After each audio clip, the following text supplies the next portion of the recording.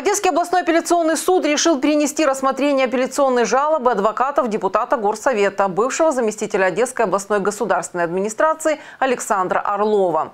Напомним, он был арестован по делу 19 февраля, и ему инкриминируют организацию избиения тетушками журналистов и активистов Евромайдана у стен облгосадминистрации.